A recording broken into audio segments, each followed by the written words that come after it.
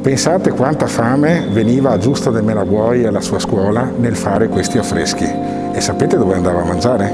In Piazza del Duomo. Facciamolo anche noi 700 anni dopo.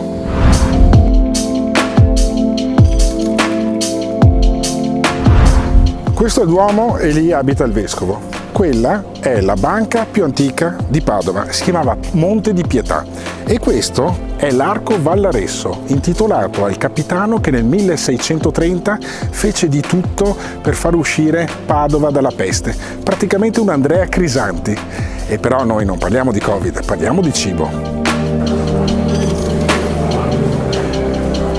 Questo è il selciato di un'antica strada romana, ha più di 2000 anni.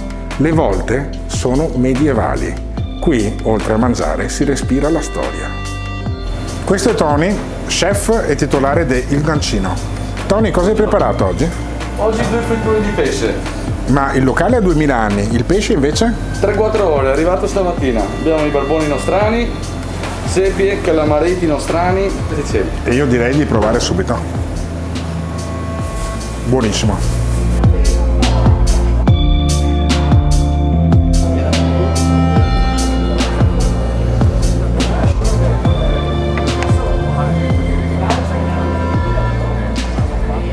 Grazie.